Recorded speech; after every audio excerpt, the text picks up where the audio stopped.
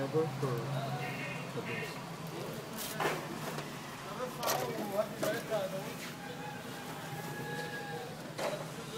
What were you saying, Dan? I love this. We are in Maqattam and we're visiting and we are, uh, this is where people recycle the, the solid waste in Cairo and they recycle 80% of the waste.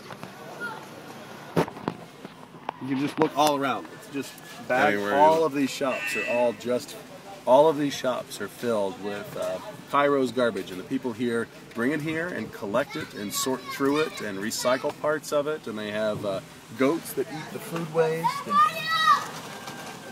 yeah, we're in a traffic jam of garbage.